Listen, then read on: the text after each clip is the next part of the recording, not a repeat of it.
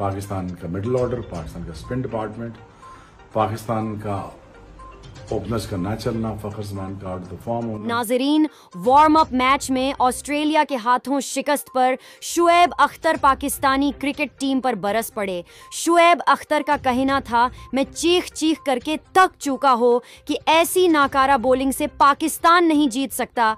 ऐसी लोहली लंगड़ी बॉलिंग से पाकिस्तान कभी भी सेमीफाइनल तक नहीं जा सकता। ऑस्ट्रेलिया और न्यूजीलैंड की शिकस्त से आपको होश में आना चाहिए कि मोहम्मद आमिर और एमाद को टीम में शामिल करना चाहिए। अब बाबर आज़म और इंजमामुल हक को इस बारे में ज़रूर सोचना चाहिए। ये बॉलर आपको मैच जीत कर नहीं दे सकते।